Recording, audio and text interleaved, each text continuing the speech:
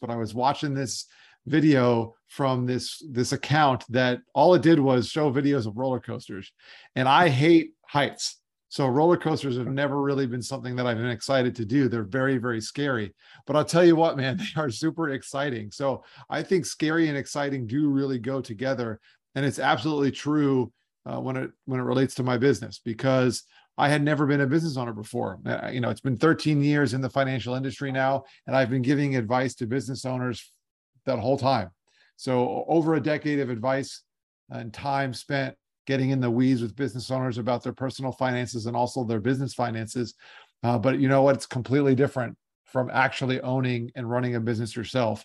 And so that uh, excitement of leaving our previous firm and starting our own thing was definitely there. But at the same time, I've been absolutely fearful because I'm going into uncharted waters, places I've never been before.